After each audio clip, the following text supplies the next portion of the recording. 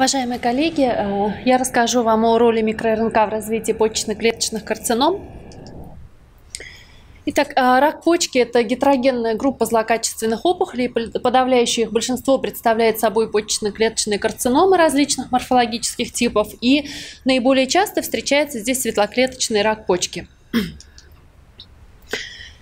А, в мире ежегодно диагностируется до 300 тысяч новых случаев рака почки. В России это порядка 22 а, тысяч а, за 2017 год. В Республике Башкортостан, в нашей республике, это около 580-600 новых случаев рака почки в год. А в настоящее время э, диагностика и э, мониторинг э, рака почки основывается на стандартных инструментальных методах исследования. И э, нужно сказать, что многие из них э, инвазивные, трудоемкие и недостаточно чувствительные и специфичные. И когда пациент уже обращается с жалобами, то, как правило, это бывает местно, местно распространенный рак, который выходит за пределы почечной капсулы. И распространяется в почечную вену или в э, нижнюю полую вену. А в связи с этим э, необходимо э, внедрение новых маркеров, диагностических маркеров и прогностических маркеров, которые могли бы прогнозировать э, риск развития заболевания, э, прогноз давать течение заболевания и проводить эффективные оценки риска. И в качестве таких маркеров в настоящее время рассматриваются микроРНК.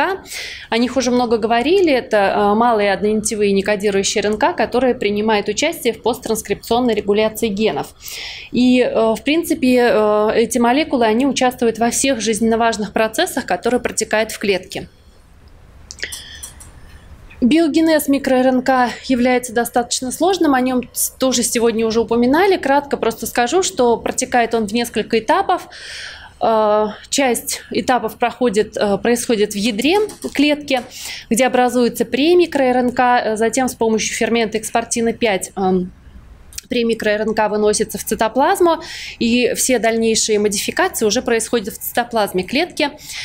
И э, в конце концов, э, одна из цепей, цепь пассажир, она подвергается деградации, а вторая цепь э, функциональная взаимо взаимодействует с МРНК, э, деградируя ее и, или репрессирует трансляцию.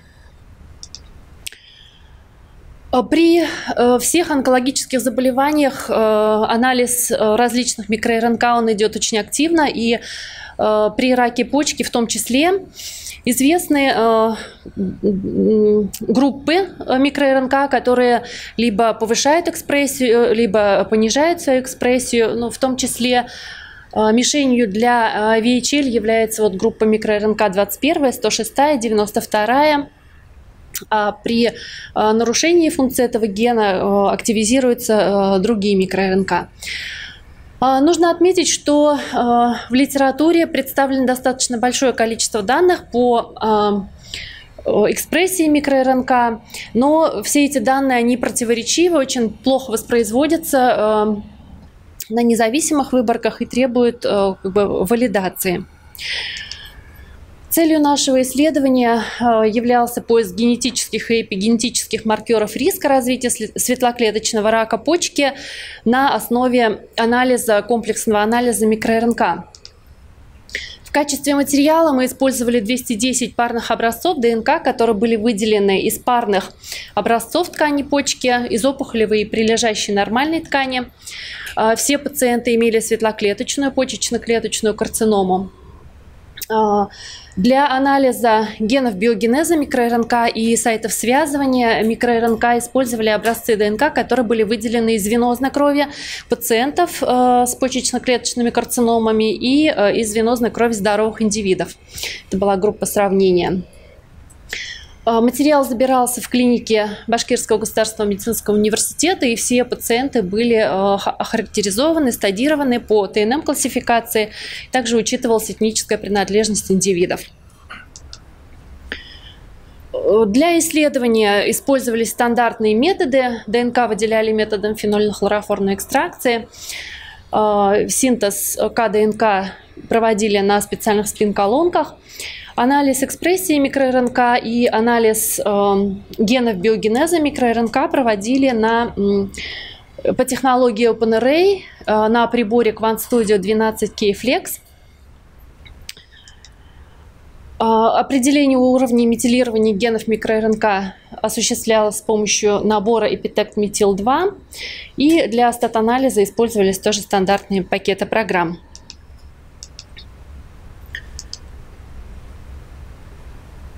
Итак, в первую очередь мы провели анализ экспрессии 700 58 зрелых микроРНК в образцах э, ткани опухолей и в образцах нормальной почечной паренхимы пациента со светлоклеточным раком почки. И после того, как была введена поправка на множественность, эм, всего две микроРНК показали дифференциальную экспрессию. Это микроРНК 210 и микроРНК 642. А, затем а, эти данные были валидированы на новой независимой выборке больных, которые собирали отдельно, и а, результаты показали, что для микроРНК 210 эти значения тоже были статистически достоверными. Для 642 же данные, полученные при валидации, оказались статистически незначимыми. 210-я микроРНК, она является достаточно хорошо изученной. Это микроРНК, которая, экспрессия которой э, повышается при очень многих типах опухолей. И э, э, исследования последних лет они показали, что экспрессия, на экспрессию данной микроРНК влияет гипоксический характер опухоли. А, э, известно, что экспрессия данной микроРНК она снижается после хирургического удаления опухолей, и из литературных данных известно, что при а, низкой экспрессии данной микроРНК также снижается инвазия и а, метастазирование. МикроРНК 210 регулируется гипоксией-индуцированным фактором альфа. И функционирование э, генов в условиях нормоксии и гипоксии, оно тоже э, отличается. Э, так при, так при нормоксии осуществляется деградация ХИФ-1-альфа, он не накапливается, что же касается гипоксии, при гипоксии а, данный а, гипоксии-индуцированный фактор альфа, он накапливается в больших количествах, связывается, образуя гетеродимеры с ХИФ-1 бета, и затем они направляются к ядру и, действуя как транскрипционный фактор, активируют экспрессию ряда микроРНК, в том числе микроРНК 210. Еще одним э, механизмом, эпигенетическим механизмом, который происходит на очень ранних стадиях опухоли, является метилирование ДНК. Э, и процесс этот заключается в присоединении метильной группы к цитозину в позиции 5. При этом последовательность нуклеотидов она не меняется. И мы провели анализ метилирования ДНК. Также у пациентов со светлоклеточным раком почки и э, получили статистически значимые дифференциальные уровни метилирования для э, э, нескольких кластеров микроРНК 23B, 24 и 27, лет 7G и 30E.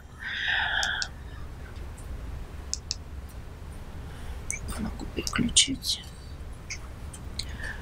А, для них показаны были статистически значимые изменения э, уровней метилирования. И э, вот для тех микроРНК, которые показали э, изменения в уровне метилирования, мы также провели анализ экспрессии данных микроРНК и получили также статистически значимые результаты.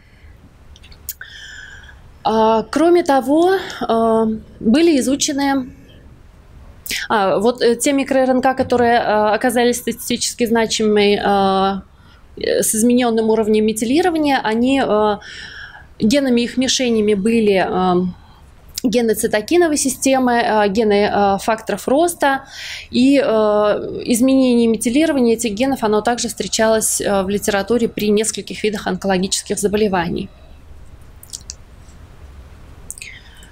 Кроме того, нами были изучены гены биогенеза микроРНК и э, гены сайтов связывания микроРНК.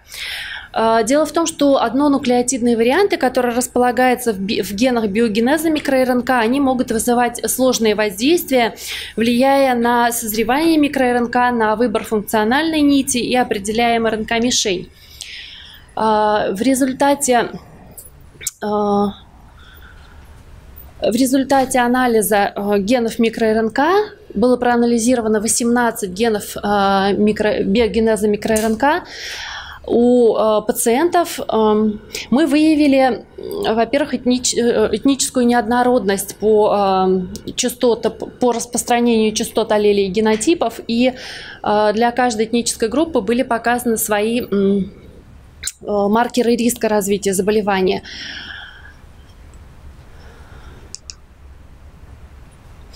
кроме того, при анализе а, сайтов связывания микроРНК было показано, что а, в группе пациентов светлоклеточного рака почки тяжелого течения генотип ЦЦ являлся маркером риска развития заболеваний с тяжелым течением.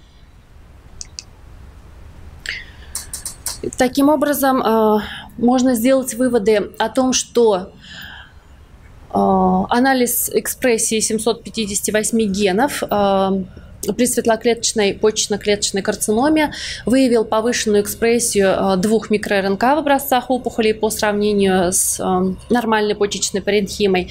Кроме того, были выявлены группы генов, у которых было, была повышенная частота метилирования в опухолях по сравнению с гистологической тканью. Э, анализ их экспрессии тоже изменялся. И э, было выявлено несколько маркеров, которые являлись э, маркерами риска развития заболеваний, развития тяжелого течения.